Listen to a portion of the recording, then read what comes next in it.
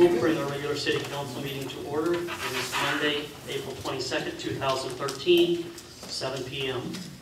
Uh, If there's anyone present who may require special assistance to participate at this public meeting, please let us know and we'll try to assist you. Uh, Roll call, please. Mayor Petter. Here. Councilmember Crum. Here. Councilmember Fauch. Here. Councilmember Johnson. Here. Councilmember Clark. Here. Councilmember LaFever. Here. Okay, uh, next on the agenda is to approve the agenda, please. I make a motion to approve tonight's agenda. I'll second it. Okay, Are there any questions or comments? Motion and a second, Councilmember LaFever. Aye. Councilmember Clark. Aye. Councilmember Johnson. Aye. Councilmember Fauch. Aye. And Councilmember Crum. Aye. Tonight's agenda has been approved. Agenda item number four is approve the consent agenda. Uh, This is to approve the minutes of the April 8th, 2013 city council meeting. Set date of Monday, May 6th, 2013 for our next regular city council meeting. Approve claims register and building permits were approved for Brian Klein and Justin Eilers. I'll make the motion to approve the consent agenda. I'll second. Okay, but any questions or comments on the consent agenda? Motion and a second, Councilmember uh, LaFever. Aye. Clark. Aye. Johnson. Aye. Fauch. Aye. And Crum. Aye. Tonight's consent agenda has been approved. Agenda item number five is discuss and approve a Class C liquor and Sunday sales license for Doc's Roadhouse. And everything is in order. We received everything back from the state, so. I make a motion to approve Class C liquor and Sunday sales license for Doc's Roadhouse. I'll second that.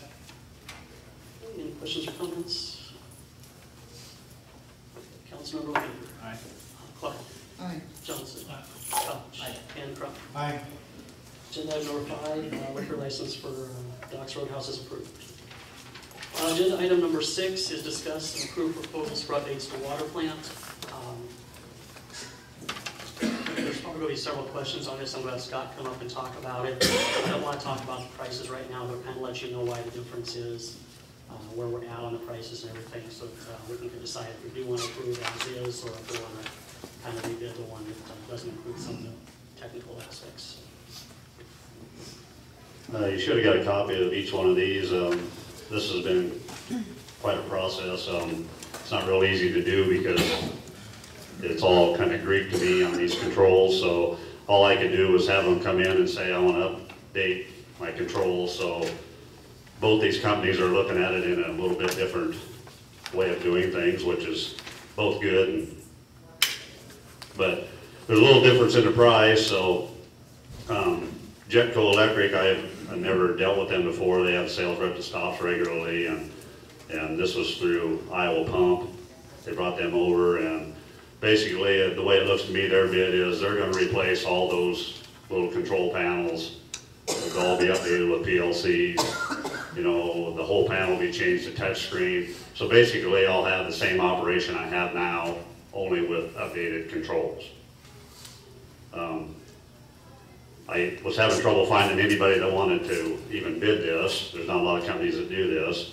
And we work with um, Process Measurement out of Omaha, which is Bud DeGraff. I don't know, Mike's probably heard us talk about Bud before, and Randy, and some of them. He's been dealing with the controls in our wastewater and water for, what, maybe 30-some years.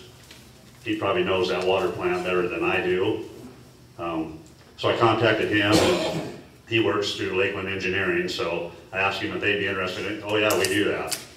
So they came up with a, about five guys and went through and looked at everything and started working on it, and, um, the difference in the money is, if you get to looking at it, if I understand it right, and I know by talking to them, is with, um,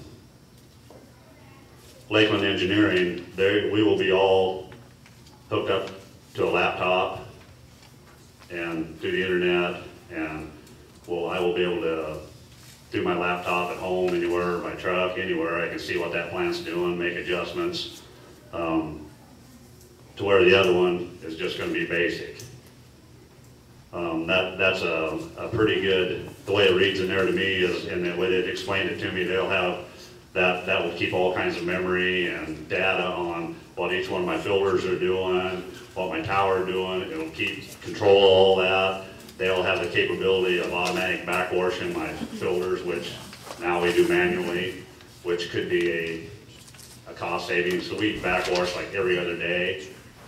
If we're set up to backwash only when those filters need it, they may not backwash that often, which would be some kind of a savings down the line, you know, I wouldn't, wouldn't know how much or how substantial that would be, but would make things run, um, a lot more efficient. So, um, I know there's quite a bit of difference in the money, I don't know, um, how else I can explain what, what, what you guys wanna know, but if you have any questions, I'll try to answer them, so. I was hoping you would have all the answers, Scott, and it went over my head. Um, but, but what, answer this for me, when looking at the Jetco's piece, they got the forty-nine, nine, eight, and, and Randy, is this time to talk about this, or is it more? Well, I think just on the price issue, I just think, you know, we just want to be careful if we decide we wanted to go back and ask them, does this include computer monitor? No, we want to add a computer and stuff, we don't want them really to know what the other prices are. I think what we're talking about, um, is like, do we need to have Jetco come in and say, okay, we want this through a laptop with the software, the whole works, all intertwined, which they have not bid it, the way it looks to me, they have not, because it says nothing about a laptop and internet service and all that kind of stuff in Jetco's bid, but there is in Lakeland. Do we need to, I'm sure that's gonna up their price, but I don't know how much. That's what we're kind of, Randy and I kind of talked about, if that way is what you think we ought to do, or now also, you know, Jetco's out of Altoona, um, Lakeland Engineering's in Omaha, their, their service would probably be quicker. I know Jetco has twenty-four hour service, I mean, they'll send a rep out or a service person out if they have a problem, you know, right away. And so with Lakeland, they're closer, but, and, you know, Lakeland, we've dealt with them on several other things, but there is a little bit of difference here in the price, so. I think what Randy and I talked about too is, you know, this may be the time to go ahead and spend the extra money to be computerized, because we may think five, six years down the line, we need to do this. Probably gonna cost more than that difference to do it then. Um, plus, we've talked for the last year or so about having internet service to the water treatment plant for my use as far as information, and now I bring my reports up here and, and do them, and Marilyn, um, emails them for me, because, you know, DNR is pretty much requiring not, that they like us to do all of our, our reports electronically now, and a lot of places are doing that, so it's all going to that, so we've been talking about that, so we're kinda killing two birds with one stone on that too, we'd be, all I'd have to do is get a printer for the laptop, and I'd be set to go, you know, and have internet service. And this doesn't do that, this gives you the same thing you have now. Uh, Jetco's, yes. The way I'm understanding it, yes. It won't give you what you were just referring to. Not, not internet, and not, not, a, not all that information tied into a laptop. It- Basically, I'm gonna have what I have now, only updated controls, which is what we really started out with, until I got Lakeland Engineering, and they're saying, well, while we're doing this, we should, you know, and it'd be Missouri Valley, I know I haven't been down there, I've been told I could go down and, and tour their new water treatment plant, but I know it's all, it's all computerized, and they say it's, it's really, really nice, so. For the difference in the money, now might be the time to do that, but that's what we need to, that's what you guys need to determine whether, or do you think we need to have Jetco take a look at it and see if they want to bid Likewise. likewise? I mean, it's gonna delay the process is all, but, What is the options? um, on Jetco's, that is those level sensors. There's six level sensors, one above, well, there's eight, I guess. There's one above each filter, and one in the clear well, one in the detention tank. Tells you what the level of the water is in each one, and that's, that's what controls it, you know, and, and Why it's just, an option? And, and the option was there, we don't really have to replace those. They will work with, um, actually Lakeland is not replacing those. They'll work with what we're doing now. Jetco put it in there as an option saying, while we're doing it, if you want to replace them, but it's like, you know, eleven thousand dollars and, and they don't have to be replaced. That's why they put it as an option, so. But, but also Lakeland is not replacing those either, so that's not the difference in the bid, so.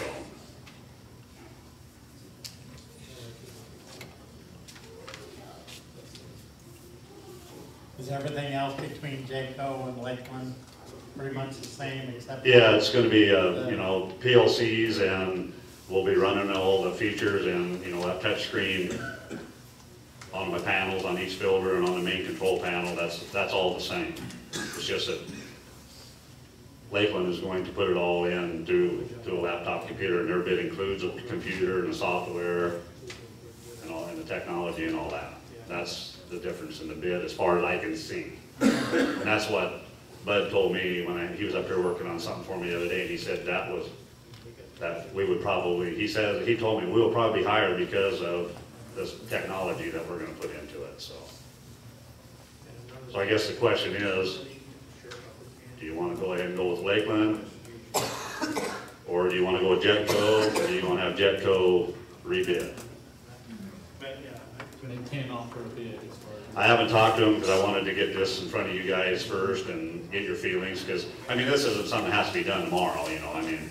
Uh, another thing I know, and I haven't talked to Jetco about this, but Lakeland and Bud's telling me they're going to do this like in a four, five, six month period.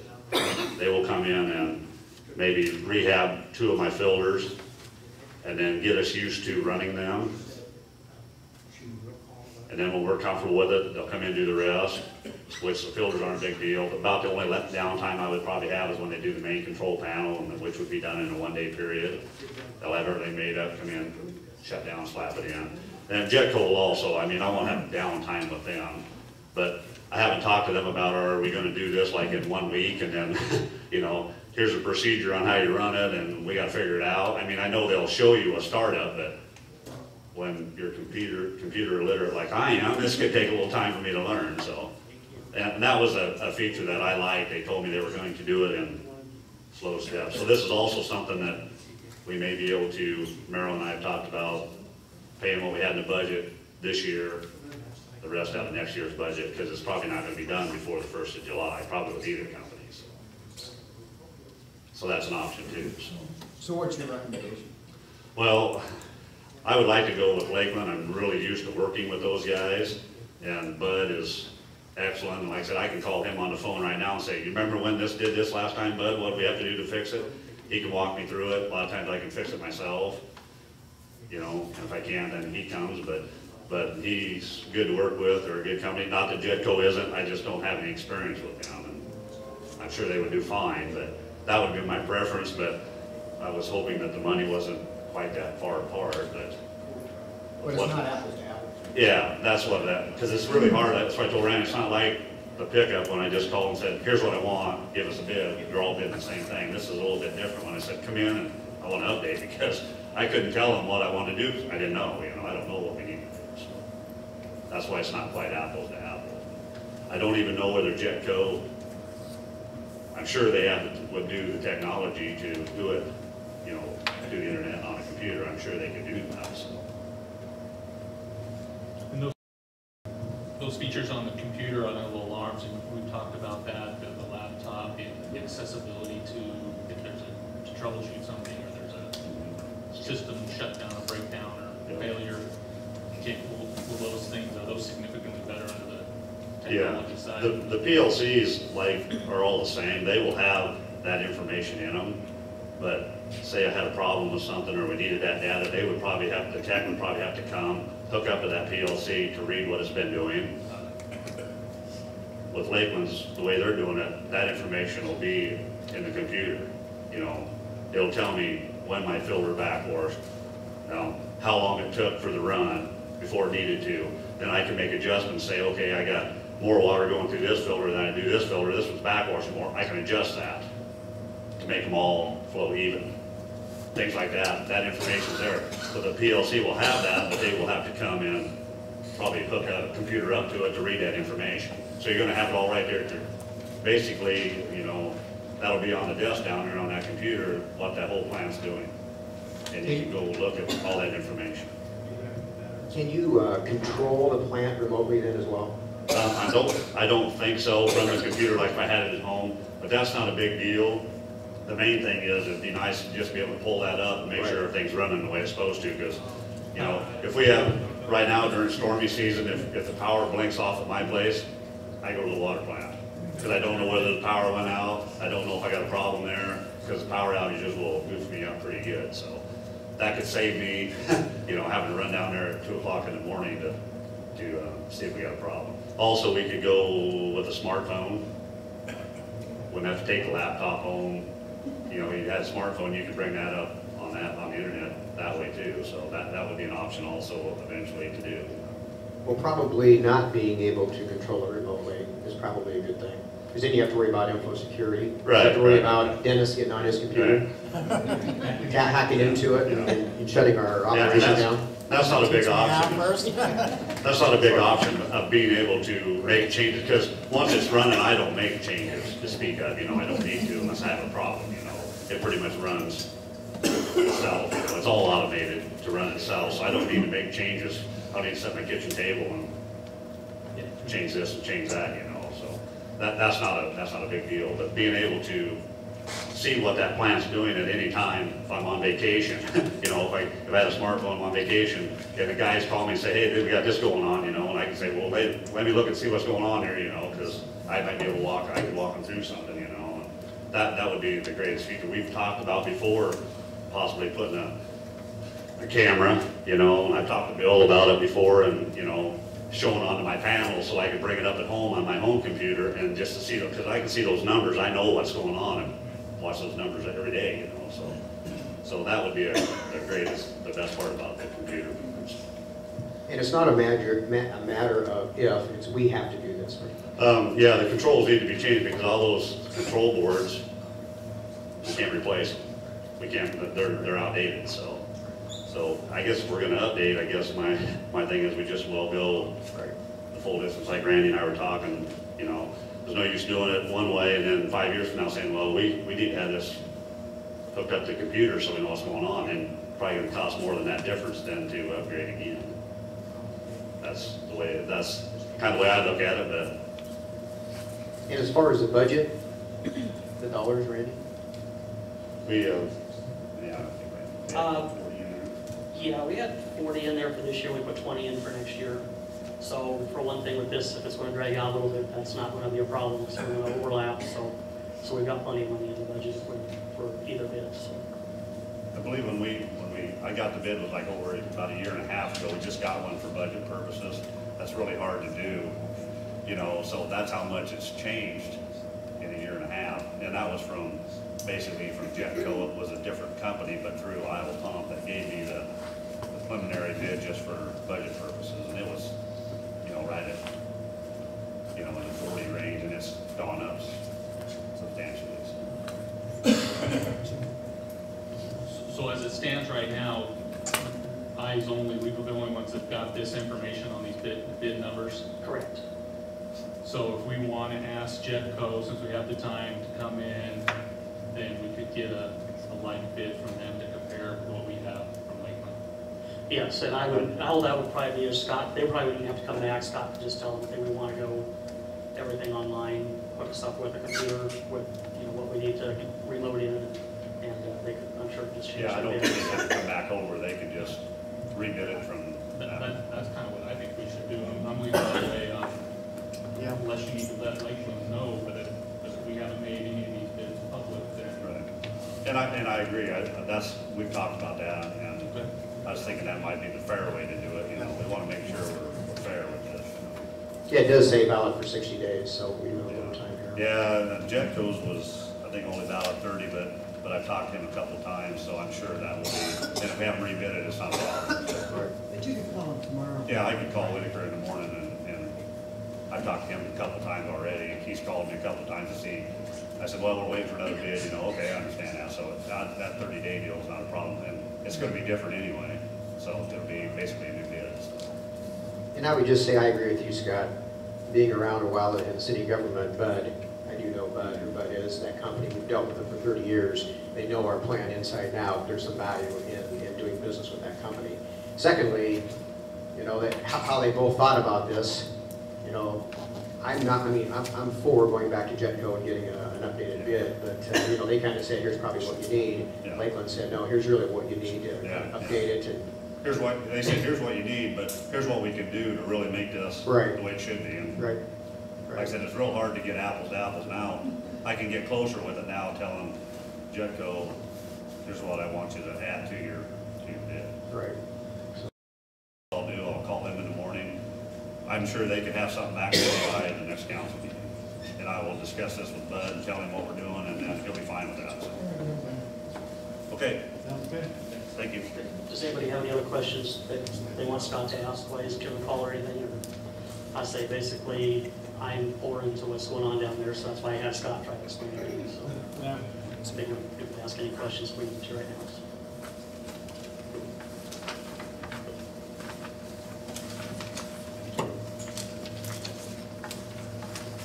Okay, uh, agenda item number seven. Uh, Number six, we'll hold off to an updated bid.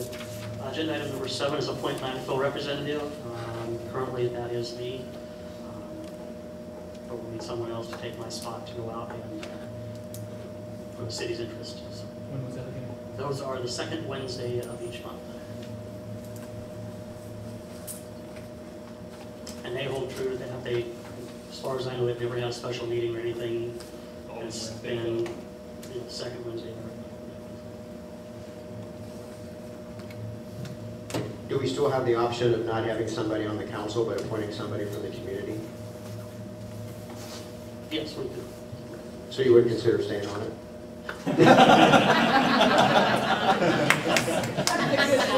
No, I think it has to be something on the council. There's an option there, Randy. As you notice, I had this added to the agenda for a reason, so. I mean, we could rotate worst case scenario, pass the pain around. Uh, my Wednesday nights is bad, you know, bad for me generally, and I, you know, council members in the city, I know that's a popular night for activities and stuff, and that's probably always gonna be difficult, and we appreciate you taking that for so long, but, uh, I, I'd be glad to take my share. If it came to that, it wasn't something that, you know, didn't have a conflict. Anyone? Nobody? When's the next meeting? The next meeting is not until, you know, the second meeting of next month, so, um, there will be another council meeting before then that somebody could be appointed, so.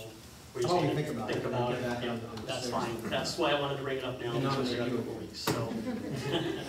Maybe a citizen would like to do it. Yeah. If you've got anybody, just let me know.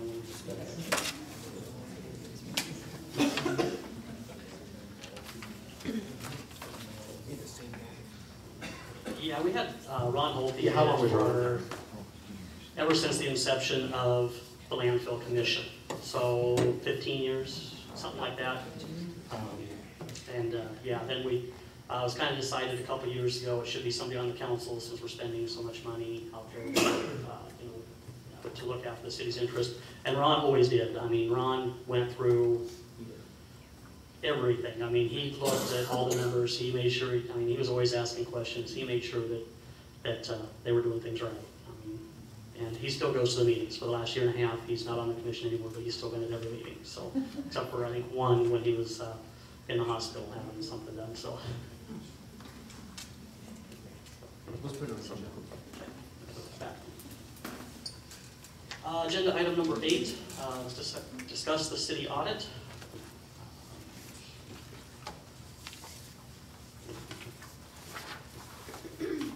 Received that. Uh, Most everything this year is pretty much uh, follows in with uh, past years.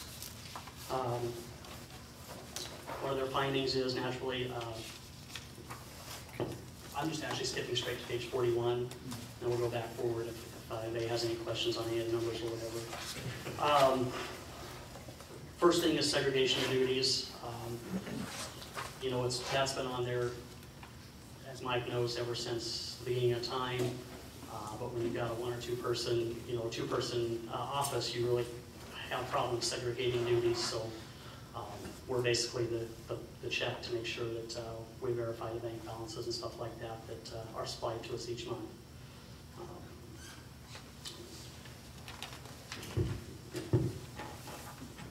Uh, The next page, um, the council minutes. Um,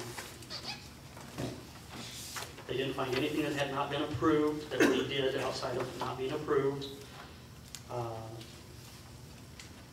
They did state uh, there was one in closed session. Um, The minutes didn't record the specific chapter code, uh, but I believe that uh, we'd let them know what that was, and they uh, agreed that that was fine. Um, There was also one uh, that we did not have uh, published within the 15 days as required by law, and also that one did not have, include a summary of disbursements. So uh, I'm not sure, usually that must just been overlooked on the disbursements part, because that's always been in there, but I recognized. uh, um, They also mentioned that in addition, the council passed a resolution, a resolution to approve a pooled percent increase in wages, but not specific increases. Uh, So basically this year, instead of when we do the resolution for wages, we'll have to spell out each person's wage, kind of like we did with uh, the pool board. Uh, We had an addendum that showed everybody's wage, not just uh, what the overall total would be. Uh, Deposits and investments, no instances of non-compliance um, with the investments. Um, They say that we do not have listed uh, maximum authorized amounts for each depository used. At one time, we did have that on file, so I'm not sure why, what that, why that wouldn't carry it over, so I'll have to check into that. Um, We'll just have to make sure we do that, so. Uh, Revenue notes, uh, no, no instances of non-compliance there. Uh, Financial condition, uh, they just said to the end of June, uh, the debt service fund had a deficit balance of nine thousand dollars.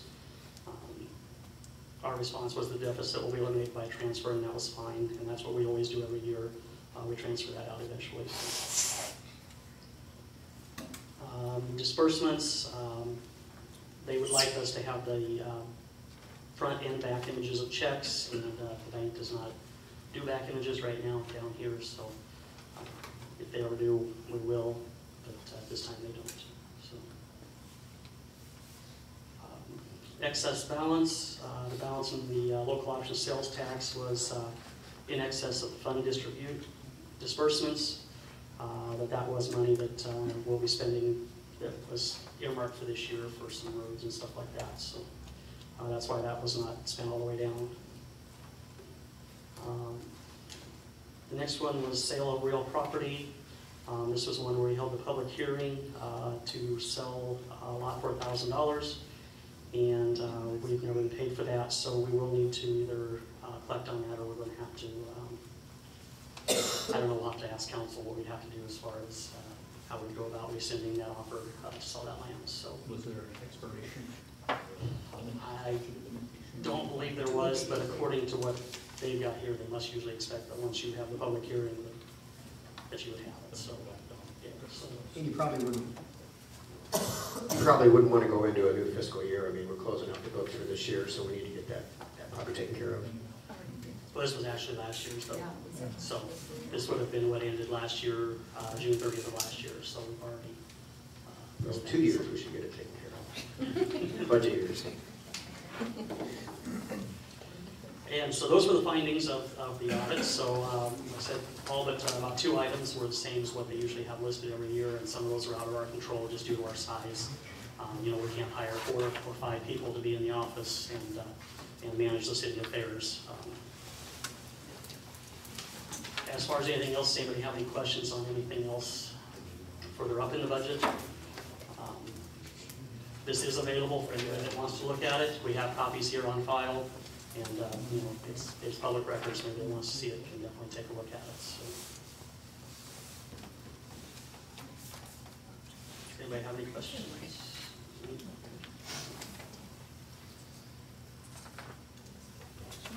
Know, I thank everyone for me with that. Uh, They said she was great to work with, so. managed, got things them and uh, went pretty good, so. The only things they had to wait on was when they asked questions of me, so. A couple times, but get back to them, so. Okay, if there's no questions, we'll go on to agenda item number nine. Uh, Agenda item number nine is hire Bill McGinn of McGinn Law Firm to represent Logan in the case of uh, Logan versus Johnson and uh, my consortium to uh, Mr. McGinn and I did also, and uh, he was willing to take this.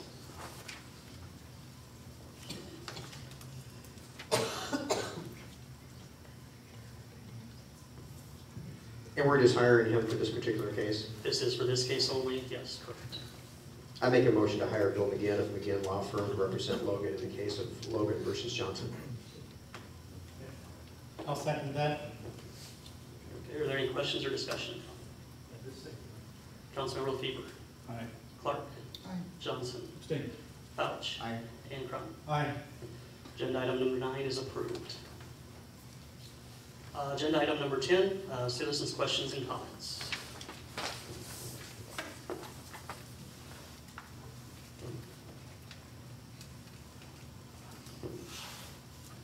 If there's no questions or comments, I'll entertain a motion to adjourn.